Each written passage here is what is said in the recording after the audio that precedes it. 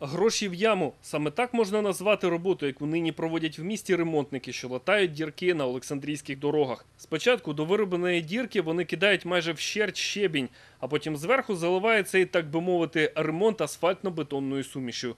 Як нам прокоментували спеціалісти, такий рецепт ямкового ремонту безглуздя.